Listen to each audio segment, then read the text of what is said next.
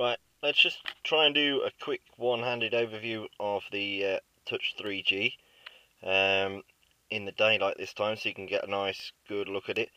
Um, there's the um, action button and the call and drop keys there which you can just see light up actually when you press press them. See that's green and that's red. There's the USB charging and synchronization hole and the microwave, um, microwave microphone. And then on the right, we've got a nice silver strip with not much on it at all, apart from that uh, um, stylus there that pops out. There's the 3.2 megapixel camera with the um, speaker on the back. We've got uh, a power button. It's almost uh,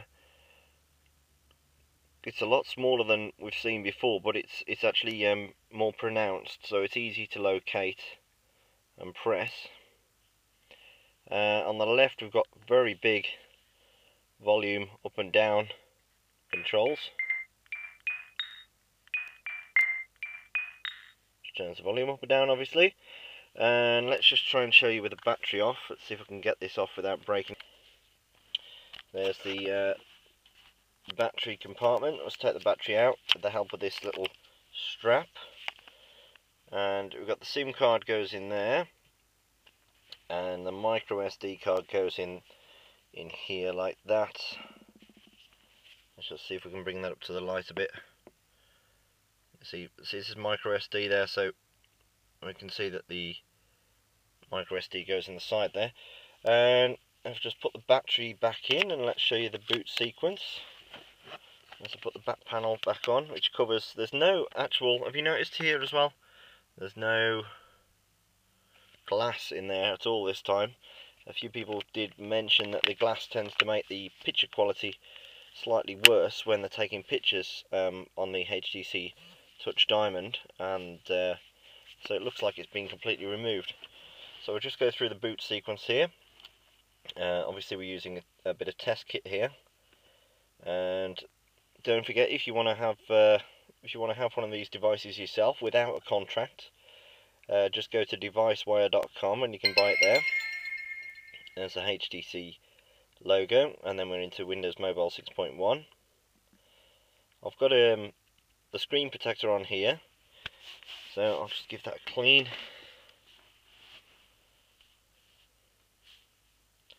and then we load it into the HTC TouchFlo system. This is a new version of TouchFlo. Um, it's not quite the 3G system you've seen, uh, uh, TouchFlo 3D system that you've seen on the uh, Diamond.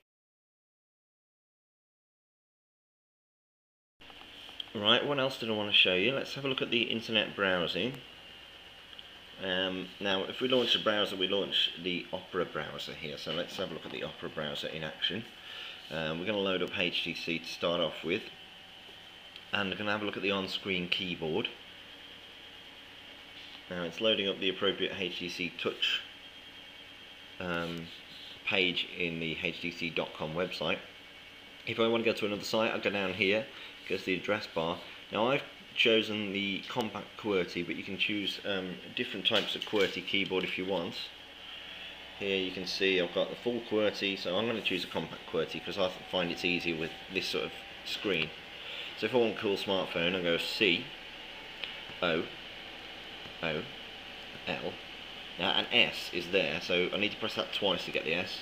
One, two, one, one, one, two, one, one, two, one, two, So it's relatively easy to enter a web address and as you can see there's a button there that says com. So if I press that it comes up with com, or .com should I say. And it appears that I've spelt the name wrong. How many times do I put in the name of Cool Smartphone and I've spelt it wrong? Right, let's try that again. And now it's going to load Cool Smartphone over the Wi-Fi connection this is, but obviously if you're using 3G or HSDPA it will load pretty much the same speed to be honest. So it's loading up this actually renders better than the previous version of Opera that I saw on the Diamond.